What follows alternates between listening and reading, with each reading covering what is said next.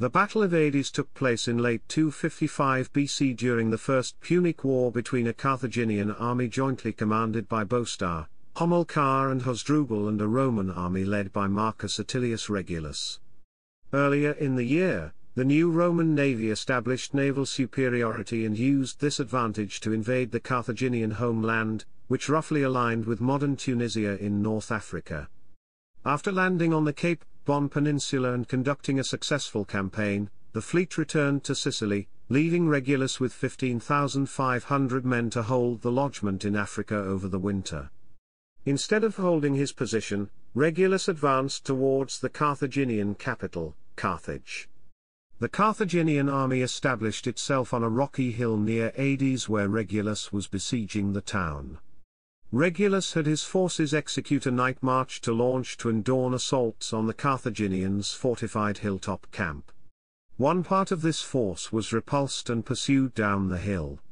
The other part then charged the pursuing Carthaginians in the rear and routed them in turn. At this the Carthaginians remaining in the camp, panicked and fled. The Romans advanced to and captured Tunis, only 16 kilometers from Carthage. Despairing, the Carthaginians sued for peace. The terms offered by Regulus were so harsh that Carthage resolved to fight on. A few months later, at the Battle of the Bagradas River, Regulus was defeated and his army all but wiped out. The war continued for a further 14 years. Chapter 1 Primary Sources The main source for almost every aspect of the First Punic War is the historian Polybius, a Greek sent to Rome in 167 BC as a hostage. His works include a manual on military tactics, no longer extant but he is now known for the histories, written sometime after 146 BC, or about a century after the Battle of Adys. Polybius's work is considered broadly objective and largely neutral between the Carthaginian and Roman points of view. The accuracy of Polybius's account has been much debated over the past 150 years but the modern consensus is to accept it largely at face value and the details of the war in modern sources are largely based on interpretations of Polybius's account. The historian Andrew Curry sees Polybius as being fairly reliable, while Dexter Hoyos describes him as a remarkably well-informed, industrious, and insightful historian. Other, later, ancient histories of the war exist but in fragmentary or summary form, and they usually cover military operations on land in more detail than those at sea. Modern historians usually take into account the later histories of Diodorus Siculus and Dio Cassius, although the classicist Adrian Goldsworthy states Polybius' account is usually to be preferred when it differs with any of our other accounts. Other sources include inscriptions, archaeological evidence and empirical evidence from reconstructions such as the Trireme Olympias. Chapter 2 Background The First Punic War between the states of Carthage and Rome began in 264 BC. Carthage was the leading maritime power in the western Mediterranean, its navy dominating both militarily and commercially. Rome had recently unified mainland Italy south of the Arno. The immediate cause of the war was a wish to control the Sicilian town of Messana. More broadly, both sides wished to control Syracuse, the most powerful city-state in Sicily. By 260 BC the war had grown into a struggle in which the Romans at least wanted control the whole of Sicily. The Carthaginians were engaging in their traditional policy of waiting for their opponents to wear themselves out, in the expectation of then regaining some or all of their possessions and negotiating a mutually satisfactory peace treaty. The Romans were essentially a land-based power and had gained control of most of Sicily using their army. The war there had reached a stalemate, as the Carthaginians focused on defending their well-fortified towns and cities, these were mostly on the coast and so could be supplied and reinforced by sea without the Romans being able to use their superior army to interfere. The focus of the war shifted to the sea, where the Romans had little experience, on the few occasions they had previously felt the need for a naval presence they had relied on small squadrons provided by their allies. In 260 BC Romans, set out to construct a fleet using a shipwrecked Carthaginian quinquereme as a blueprint for their own ships. Naval victories at Mylae and Sulci, and their frustration at the continuing stalemate in Sicily, led the Romans to focus on a sea-based strategy and to develop a plan to invade the Carthaginian heartland in North Africa, and threaten their capital, Carthage. Both sides were determined to establish naval supremacy and invested large amounts of money and manpower in increasing and maintaining the size of their navies. The Roman fleet of 330 warships plus an unknown number of transport ships sailed from Ostia, the port of Rome, in early 256 BC, commanded by the consuls for the year, Marcus Atilius Regulus and Lucius Manlius Vulso Longus. They embarked approximately 26,000 picked legionaries from the Roman forces on Sicily.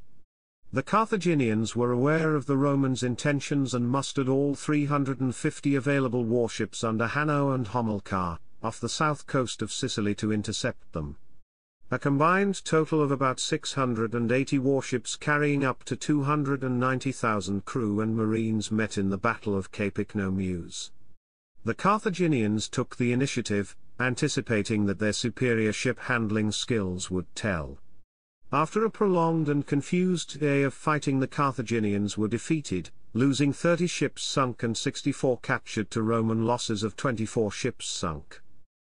Chapter 3 Prelude As a result of the battle, the Roman army, commanded by Regulus, landed in Africa near Aspis on the Cape Bon Peninsula in summer 256 BC and began ravaging the Carthaginian countryside. They captured 20,000 slaves and vast herds of cattle, and after a brief siege, captured the city of Aspis. They also fomented rebellions in many of Carthage's subject territories. The Roman Senate sent orders for most of the Roman ships and a large part of the army to return to Sicily, probably due to the logistical difficulties of feeding these more than 100,000 men over the winter. Regulus was left with 40 ships, 15,000 infantry and 500 cavalry to overwinter in Africa. His orders were to weaken the Carthaginian army pending reinforcement in the spring. It was expected he would achieve this by raids and by encouraging Carthage's rebellious subject territories, but consuls had wide discretion. Regulus chose to take his relatively small force and strike inland. He advanced on the city of Adys, only 60 kilometers southeast of Carthage, and besieged it. The Carthaginians, meanwhile, had recalled Hamilcar from Sicily with 5,000 infantry and 500 cavalry. Hamilcar and two generals named Hasdrubal and Bostar were placed in joint command of an army which was strong in cavalry, and elephants and was approximately the same size as the Roman force. Chapter 4 Armies Most male Roman citizens were eligible for military service and served as infantry, with a more wealthy minority provided a cavalry component. Traditionally, each year the Romans would raise two legions, each of 4,200 infantry and 300 cavalry. A small number of the infantry served as javelin-armed skirmishers. The balance were equipped as heavy infantry, with body armor, a large shield, and short thrusting swords. They were divided into three ranks, of which the front rank also carried two javelins, while the second and third ranks had a thrusting spear instead. Both legionary subunits and individual legionaries fought in relatively open order, or relatively well spaced from each other compared with the more tightly packed close order formations common at the time. An army was usually formed by combining a Roman legion with a similarly sized and equipped legion provided by their Latin allies. It is not clear how the 15,000 infantry at Adys were constituted, but the modern historian John Lazenby suggests that they may have represented four slightly understrength legions, two Roman and two allied. Regulus did not attract any troops from the towns and cities rebelling against Carthage. In this he differed from other generals, including Roman ones, leading armies against Carthage in Africa. The reasons for this are not known, and Lazenby states that his failure to make up his deficiency in cavalry in particular is puzzling. Carthaginian male citizens, who were largely inhabitants of the city of Carthage, served in their army only if there was a direct threat to the city. When they did they fought as well armored heavy infantry armed with long thrusting spears, although they were notoriously ill-trained and ill-disciplined. In most circumstances Carthage recruited foreigners to make up its army.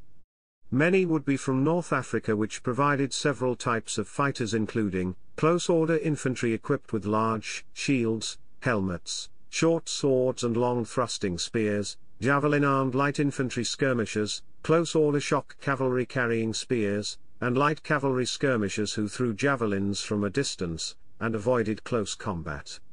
Both Iberia and Gaul provided small numbers of experienced infantry, unarmored troops who would charge ferociously, but had a reputation for breaking off if a combat was protracted. Most of the Carthaginian infantry fought in a tightly packed formation known as a phalanx. Slingers were frequently recruited from the Balearic Islands, although it is not clear if any were present at Adys. The Carthaginians also employed war elephants, North Africa had indigenous African forest elephants at the time. The precise makeup of the army at Adys is not known, but a few months later, at the Battle of Tunis, the Carthaginians fielded 100 elephants, 4,000 cavalry and 12,000 infantry, the latter would have included the 5,000 veterans from Sicily and many citizen militia. Chapter 5 Battle Determined to prevent the Romans further despoiling the countryside, the Carthaginians advanced to Adys, where they set up a fortified camp on a rocky hill near the town. They did not wish to commit to a battle on the open ground around Adys too hastily. Polybius is critical of this decision by the Carthaginians, as their main advantages over the Romans were their cavalry and their elephants, neither of which could be deployed to advantage from behind fortifications, on steep ground, or in rough terrain. Modern historians point out that the Carthaginian generals would have been well aware of the strength of the legions when formed up in open battle and that to pause in a strong position while scouting the enemy and formulating a plan was not obviously a mistake. This was especially the case as their army was newly formed and not yet fully trained or used to operating together, although the modern historian George Tipps describes this deployment as a total misuse of their cavalry and elephants. With the Carthaginian army overlooking him from a fortified hill Regulus immediately made the audacious decision to split his army in two and have each carry out a night march to launch a surprise dawn attack on the camp. The Romans would be attacking uphill against the Carthaginians' prepared position, but an attack from two directions would be difficult to respond to. Tipps describes the plan as a demonstration of Regulus's recklessness.